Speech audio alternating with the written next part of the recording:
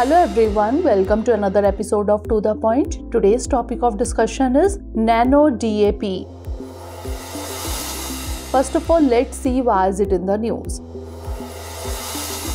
Recently, in the interim budget of 2024, Finance Minister Nirmala Sitharaman announced the expansion of Nano DAP application for various agricultural purposes.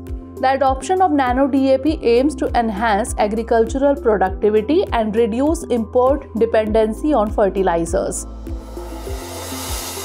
Now let's discuss about Nano DAP. Nano DAP is nanoscale diammonium phosphate. It is a made in India fertilizer introduced by IFFCO. It is a liquid formulation with particles smaller than 100 nanometers. Due to small size, it provides a higher surface area to volume ratio. It contains 8% nitrogen and 16% phosphorus, making it an efficient alternative to conventional DAP. It is produced domestically in Kalol, Gujarat.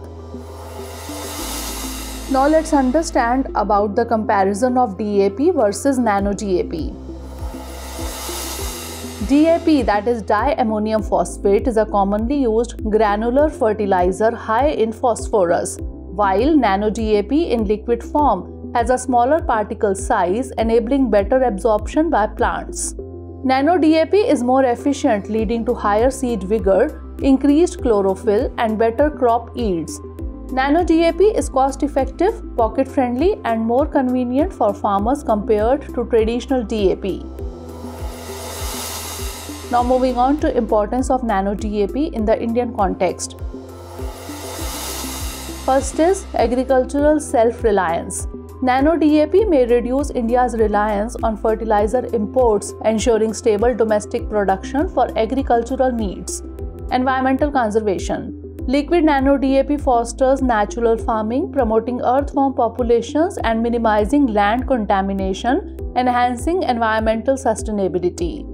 Economic efficiency Adoption of nano DAP is anticipated to lighten the government's subsidy burden, offering cost effective solutions and economic relief.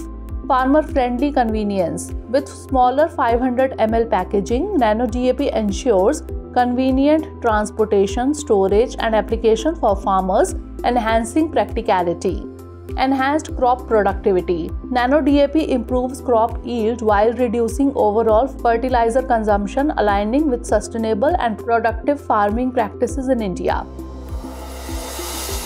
Now it's time for the practice question. Consider the following statements regarding the Nano DAP. 1. It is a made in India fertilizer introduced by IFFCO. 2. Nano DAP may reduce India's reliance on fertilizer imports.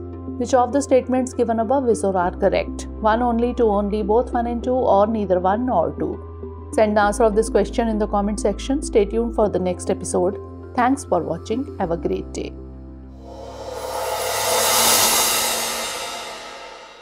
For more informative content, like, share, and subscribe. And do not forget to press the bell icon to get the notifications.